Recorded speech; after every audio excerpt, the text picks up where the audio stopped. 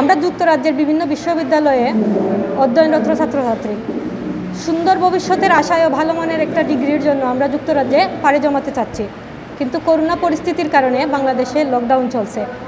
যারা, যার কারণে ভিসা অ্যাপ্লিকেশন সেন্টার বন্ধ থাকায় শত শত শিক্ষার্থীর ভবিষ্যৎ অনিশ্চয়তার পথে। আমরা যারা ছাত্রছাত্রী আছি, তারা বিভিন্ন সমস্যার সম্মুখীন হচ্ছি। আমাদের জীবন ও ভবিষ্যৎ অন্ধকারের দিকে চলে যাচ্ছে। আমরা এখন তুলে ধরছি আমাদের সমস্যাগুলি। শত শত ছাত্রছাত্রীদের পাসপোর্ট বিএফএসে আটকানো আছে এবং অনেক পাসপোর্ট জমা দেওয়ার জন্য অপেক্ষা করতেছে। এতে করে অনেকের ভর্তি সেশন মিস হয়ে যাওয়ার সম্ভাবনা আছে। আমরা অনেকেই আছি, দুই তিন মাস যাবৎ অনলাইনে ক্লাস করতেছি। যাতে করে অনেক সমস্যা পোহাতে হচ্ছে আমাদের। অনেক সময় ইলেকট্রিসিটি ও নেটওয়ার্ক প্রবলেমের কারণে আমাদের ক্লাস মিস হইতেছে, যা পরবর্তীতে আমাদের পরীক্ষার ফলাফলে ব্যাপক প্রভাব পড়বে। আমরা লক্ষ লক্ষ টাকার টিউশন ফি দিয়েছি। প্রায় সতেরো লক্ষ টাকা টিউশন ফি আমাদের টোটাল এবং আমরা অনলাইনে ক্লাস করতেছি।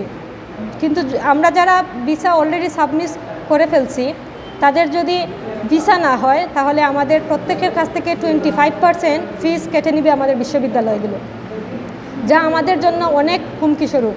কিন্তু শুধুমাত্র এই বিএফএস বন্ধ থাকার কারণে আমরা বিভিন্ন বিশ্ববিদ্যালয়ে ভর্তি হলেও সময় মতো যেতে পারতেছি না।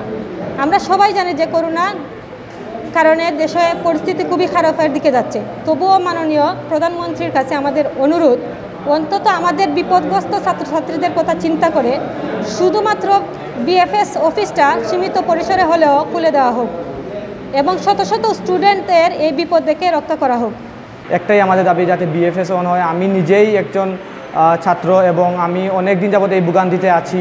মূলত প্রায় তিন মাস যাবৎ আমি অ্যাপ্লাই করেছি। আমার এপ্রিলে আমার ফাইল ফাইল অ্যাপয়েন্টমেন্ট আমি নিয়েছি এবং আমি আজ পর্যন্ত উঠতে পারিনি। শুধুমাত্র লকডাউনের কারণে। আমার অ্যাপয়েন্টমেন্ট ছিল সাত এপ্রিল কিন্তু আমি উঠতে পারিনি। কারণ হঠাৎ করেই বিএফএস অম অফ হয়ে গেছে।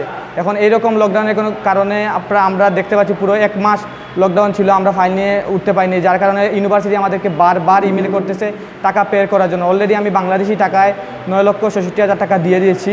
ইউনিভার্সিটিতে এখন যদি আমার ভিসাটা আমি না পাই কিংবা আমি যদি ফাইল সাবমিট করতে না পারি এর জন্য অনেক বড় প্রবলেম হয়ে যাবে এবং হতেও পারে যদি আমি ভিসা না পাই, আমার পঁচিশ পার্সেন্ট তো কেটে নিবে এবং আমার মানে সব দিক দিকে লস এটা আমরা অনেক মানে আমরা সব স্টুডেন্টদের একটাই দাবি যাতে বিএফএসটা অন হয়, যাতে আমরা অনেক ডিপ্রেশনে চলে গেছি। আমাদের অনেকের ইচ্ছা যাতে বিদেশে লেখাপড়া করে দেশে আসার জন্য এবং ভালো কিছু করার জন্য। কিন্তু আমরা এখানে যদি আটকে যাই, তাহলে আমরা ভবিষ্যতে করব কি?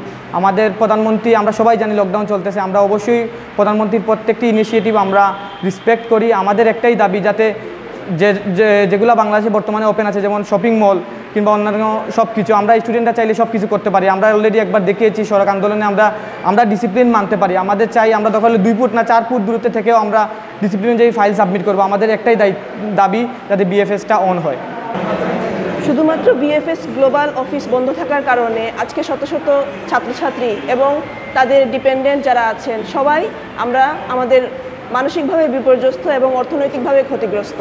আমাদের মাননীয় প্রধানমন্ত্রী জননেত্রী শেখ হাসিনার কাছে আমাদের সবার একটাই দাবি, যদি শপিং সেন্টার খুলে দেওয়া হয়, যদি গার্মেন্টস ফ্যাক্টরি খুলে দেওয়া হয়, তাহলে আমাদের কথা বিবেচনা করে, শত শত ছাত্রছাত্রীর উজ্জ্বল ভবিষ্যতের কথা চিন্তা করে হলেও আমাদের সীমিত পরিসরে স্বাস্থ্যবিধি মেনে BFS global centre visa office খুলে দেওয়ার আমরা দাবি জানাচ্ছি। ধন্যবাদ। অনেক হাজার হাজার ছাত্রী আছে ছাত্রছাত্রী আছেন বাংলাদেশে যারা পাসপোর্ট জমা দিতে পারছেন না অ্যাপ্লিকেশন জমা দিতে পারছেন না, তাদের ইউনিভার্সিটিতে ক্লাস শুরু হয়ে গেছে অলরেডি অনলাইনে ক্লাস করছেন এবং অনলাইনে ক্লাস করে তারা যথোপযুক্ত শিক্ষা কার্যক্রম যেটা পরিচালনা করতে পারছেন না। এছাড়াও অনেকের সেশন মিস হয়ে যাওয়ার সম্ভাবনা আছে। আবার যারা যারা ভিসা অলরেডি প্রসেসিং হয়ে গেছে, তারা পাসপোর্ট কালেক্ট করতে পারছেন না। অনেকের স্টুডেন্টের পাসপোর্ট পেয়ে গেছেন, কিন্তু তাদের পরিবারের তাদের সন্তানদের পাসপোর্ট কালেক্ট করা সম্ভব হচ্ছে না এবং এই জন্য ওনারা যুক্তরাজ্যে পাড়ি জমাতে পারছেন না।